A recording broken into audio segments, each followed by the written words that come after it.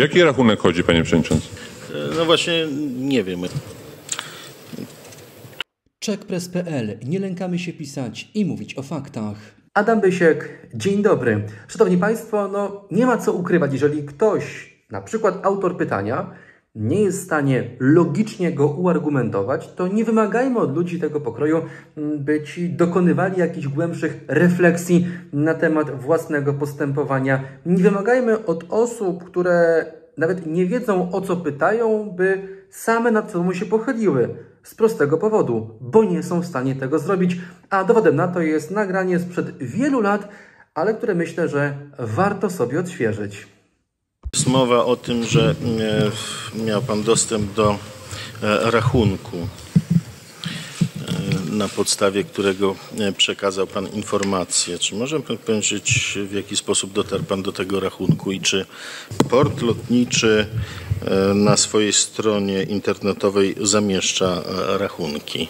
Ale jakiego, ja- jak- jaki rachunek? Co pan rozumie przez słowo rachunek, panie pośle? Bo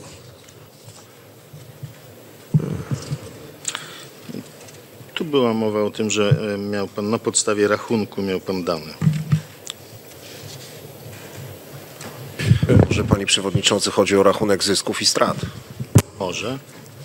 ale jakie dane? Bo a nie o konto bankowe. E, No właśnie.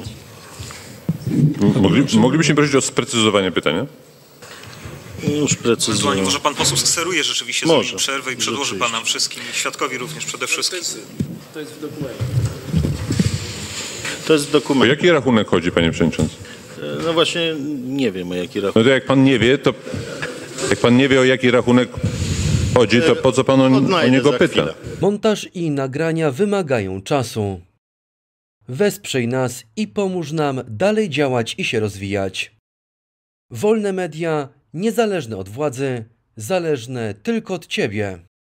Zrzutka.pl ukośnik EXSUMF Aplikacja mobilna PayPal. Użytkownik Adam Bysiek. Szczegółowe informacje oraz inne możliwości wsparcia w treści każdego posta oraz w opisach na YouTube i Spotify.